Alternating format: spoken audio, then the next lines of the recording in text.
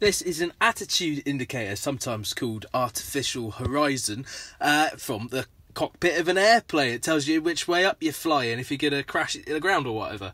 And um, if you want to see me doing a bod repair on it, getting it all spin up and lit up, look at it, it's bloody cool, isn't it? Um, and the gyroscopes in it go 10,000 RPM.